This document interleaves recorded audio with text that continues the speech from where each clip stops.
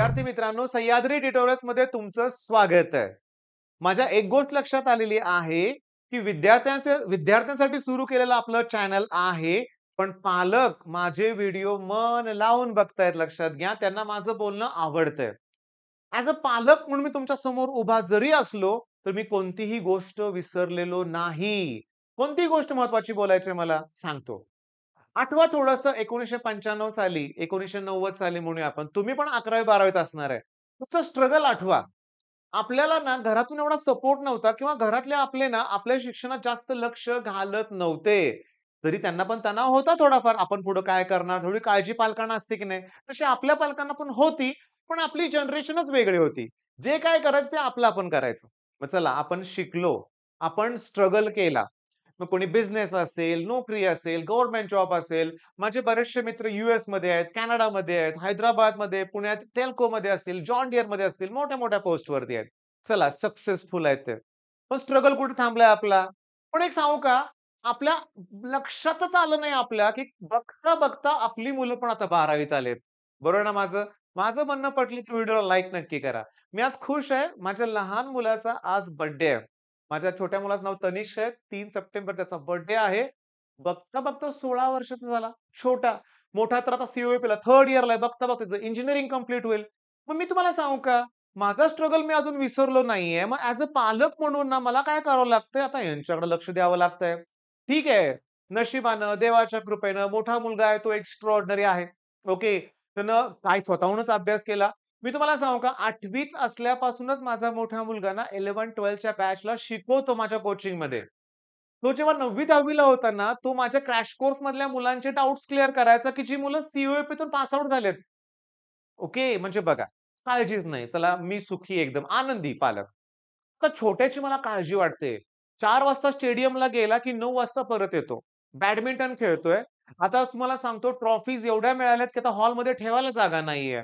पण as a पालक विचार करावा लागतो की बॅडमिंटनमध्ये करिअर होईल का? काय करू? त्याला शिक्षणाकडे कसं वळवू? हुशार तो तो पण तेवढाच आहे. मोठ्या मुला एवढाच हा पण हुशार आहे पण त्याचा अभ्यासात मन रमत नाही. मग ऍज अ पालक म्हणून मला आता काळजी वाटते की जी तुम्हाला पण वाटते. मुद्दा कळाला माझा की आपण काय करतोय? बघता बघता आपण विद्यार्थ्यापासून पालक बनलेलो आहोत आणि बघता बघता आपली मुलं बारावी सुद्धा गेलेली आहेत. होतं काय की बारावीच्या परीक्षेला फक्त चार महिने उरलेत. आता तुमच्या समोरचे प्रश्न घेणार आहे आणि त्याला कसं टॅकल करायचं ते सांगणार आहे. पहिला मुद्दा पालकांसमोरचा एक आहे. कोणता सांगू का? की मी त्याला ऑफलाईन क्लास लावलेला आहे. क्लासमध्ये दर आठवड्याला टेस्ट होतात. पण त्याचा परफॉर्मन्स इम्प्रूव्हच होत नाहीये. प्रत्येक टेस्टमध्ये त्याचा स्कोर कमी कमी कमी येतोय. कमी येतोय. तर मी तुम्हाला सांगू का? याच्यावरचा उपाय सांगतो. ऑफलाईन क्लासमधल्या पालकांशी संपर्क करा.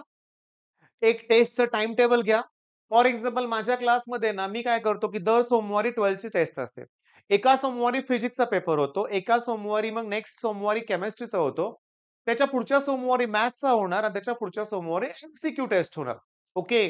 मग मी प्लॅन काय करतो तुम्हाला देतोय बघा सांगा की आता समजा आजपासून सात दिवसांनी तुमच्या मुलाचा फिजिक्सचा पेपर आहे. तर फिजिक्सचा पेपर आहे सिलेबस चेक करा. दोन ते तीन टॉपिकवर टेस्ट असते ऑफलाईन क्लासमध्ये नाहीतर एकाच टॉपिक वरती असेल. त्या टॉपिकला पाच सहा दिवस चार दिवसात डिवाइड करा मी तर म्हणतो. आणि त्या मुल तुमच्या मुलाकडून अभ्यास करून घ्या.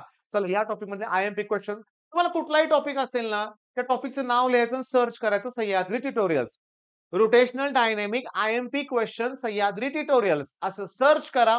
माझा गेल्या वर्षीचा व्हिडिओ दिसेल तुम्हाला. अरे गेल्या वर्षीचा असला म्हणून काय? आय एम पी क्वेश्चन त्यात आहेत. या वर्षी मला परत नवीन व्हिडिओ ते प्रोव्हाइड करावे लागणार आहेत. ट्वेंटी ट्वेंटी फोरचे क्वेश्चन ऍड करून पण जुने पण आहेत सध्या. मग मुद्दा असा आहे की त्या टॉपिकला चार टॉपिकमध्ये चार दिवसात डिवाइड करा. दोन दिवस अजून शिल्लक असणार आहेत. त्या दोन दिवसात त्यापैकी पहिल्या दिवशी त्याची टेस्ट घ्या. कितपत जमतंय ते बघा.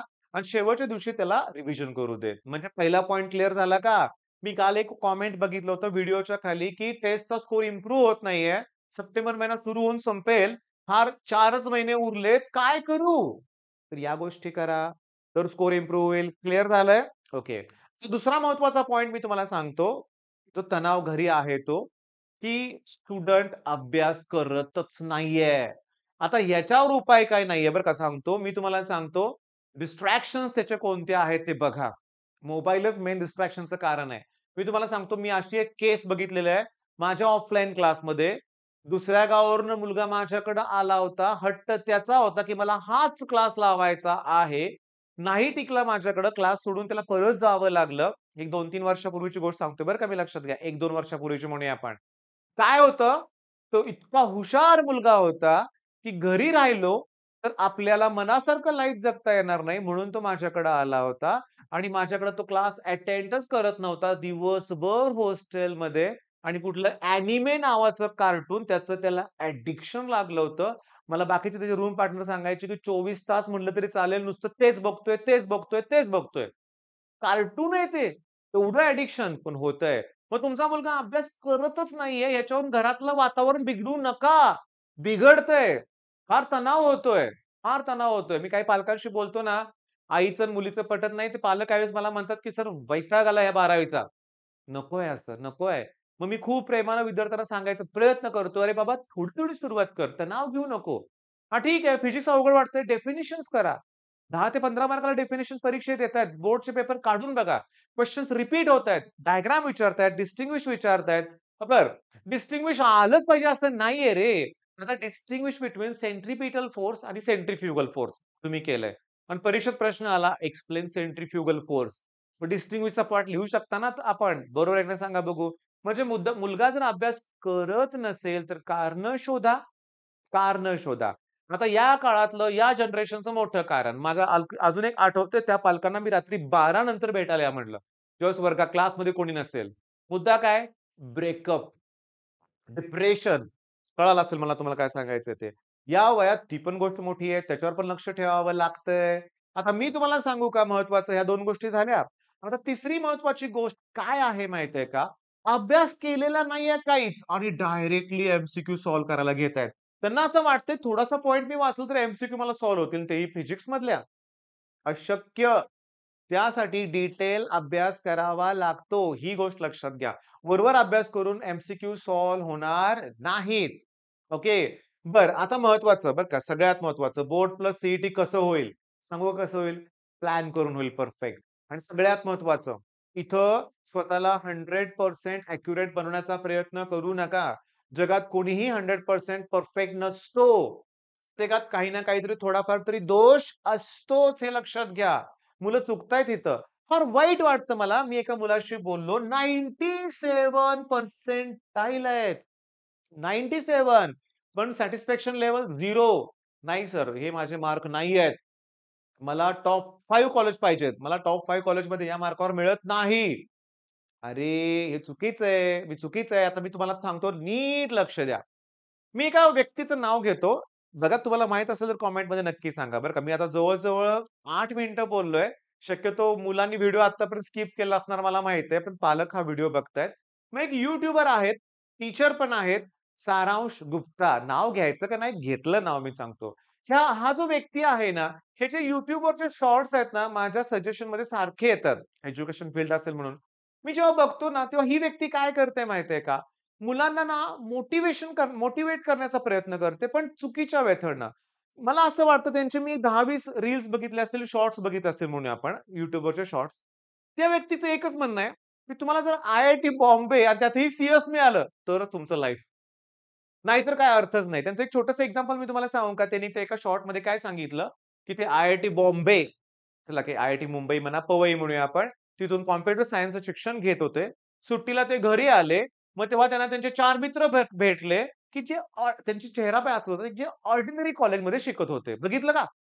म्हणजे आय-आय-टीच बेस्ट. बाकीचे सगळे कॉलेज ऑर्डिनरी. आणि त्यांनी बघितलं मुलांना विचारलं म्हणे मित्रांना त्यांच्या, तुम्ही कोणती पुस्तकं वापरताय? त्यांनी काही पुस्तकांची नावं सांगितली. तेव्हा ते सारांश गुप्ता सर त्या मुलांना म्हणाले, त्यांच्या मित्रांना, की जे ऑर्डिनरी कॉलेजमध्ये शिकत होते, त्यांना ते म्हणाले, "हे, हे माझे गाईड आहेत." मग ते ते मग त्यांचं म्हणणं काय होतं नेक्स्ट डायलॉग, मग माझे मित्र माझ्या असे बनवले, "अरे, हे तुझे गाईड आहेत." म्हणजे ते शिक्षक असं भ्रमित करतायत मुलांना, की काय विचारू नका. सेंड ऑफला मी देवा शपथ खरं सांगतोय, सेंड ऑफला माझा एक स्टुडंट बोलला 10वीच्या सेंड ऑफला, "केलं तर आय-आय-टीच नाही तर शिकणार नाही." मी म्हटलं, "का रे बाबा असं?" मग म्हटलं "सर आय-आय-टी शिवाय लाईफ नाही. आय-आय-टीत गेलं की एक कोटीचे पॅकेजेस मिळतायत." मी तुम्हाला सांगू का, इथं सगळा गोंधळ आहे. स्वप्न मुलांना वेगळी दाखवली जातायत त्यांच्या कॅपॅसिटीचा विचार केला जात नाही, त्याच्यावर ते लादलं जातंय. एक्झाम्पल तुमच्यासमोर आहे. माझ्या वडिलांनी माझ्यावर काही लादलं नाही, पण मला एकच माहीत होतं, की आपल्याला इंजिनिअरिंग करायचंय किंवा मेडिकल. मेडिकल तर शक्यच नाही, मग चला इंजिनिअरिंग. मेडिकल शक्य नाही म्हणजे बायोसारखा सब्जेक्ट मला आवडतच नव्हता. नव्हताच आवडत, त्यामुळे ऑब्व्हियसली इंजिनिअरिंग. अरे पण इंजिनिअरिंग हे फील्ड माझ्यासाठी नव्हतं. आता ते सारांश गुप्ताचे आहेत लक्षात घ्या. त्यांनी आय-आय-टी बॉम्बेमधून ठीक आहे कॉम्प्युटर सायन्स केलं. आज ते टीचिंग करतायत. ओके, ठीक आहे. मग मी पण तेच करतोय.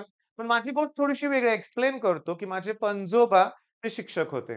कोरेगाव तालुक्यात ना सांगतो तुम्हाला शंकरराव जगताप हे आमदार होते 15-20 वर्ष. ते माझ्या आजोबांचे विद्यार्थी, पंजोबांचे सॉरी. माझे आजोबा शिक्षक होते, चुलत आजोबा सुद्धा शिक्षक शिक्षक होते.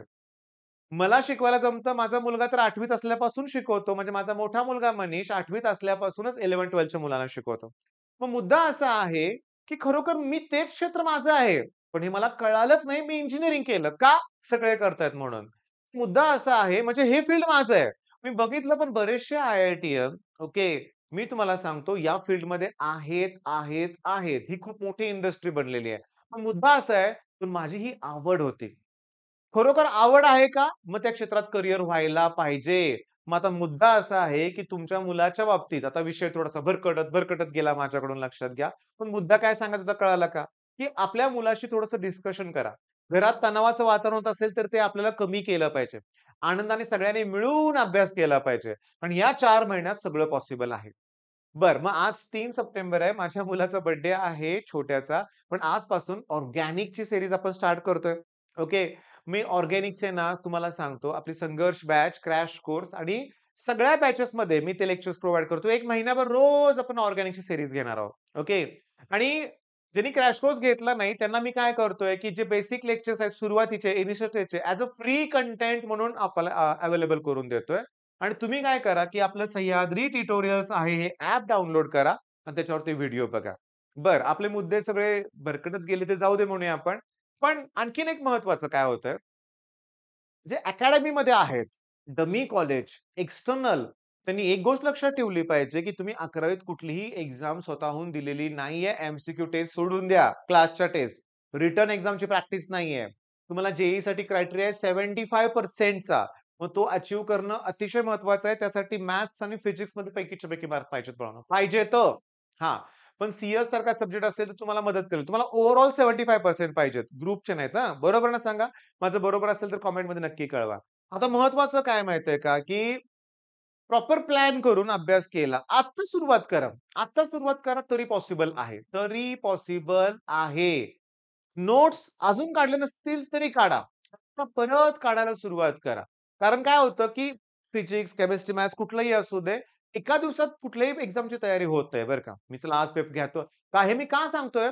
तुम्हाला असे YouTubeवर भेटणार आहेत, की जे महामॅरेथॉन मोठी-मोठी सीरीज घेणार आहेत. मी नॅशनल लेवलला पण बघितले काही एक शिक्षक आहेत 23 तासाचं सलग लेक्चर घेतलंय. हा मध्ये ब्रेक घेतला असेल की 23 तास. अरे उद्या पेपर आहे फिजिक्सचा. आदल्या दिवशी 23 तास 23 आदले दोन दिवस तुम्ही तुमचे व्हिडिओ बघताय. मग सेल्फ कसला अभ्यास? नाही. एक्झामच्या वेळेस रिव्हिजन असते करायची. त्यासाठी आत्ताच नोट्स तयार करा. बर नेहमीप्रमाणे ना तुमचे काही डाउट असतील तर या नंबरवर फोन अगदी बिनधास्त करा. मी फ्री झाला तर त्याचे रिप्लाय देतोय जर मिस कॉल असेल तर. व्हॉट्सअप मेसेज असेल त्यांना मी रिप्लाय करतोय. तुमचे कॉल मी रिसिव्ह करतोय. काही डाउट असेल मी तुम्हाला रिप्लाय करायला तयार आहे.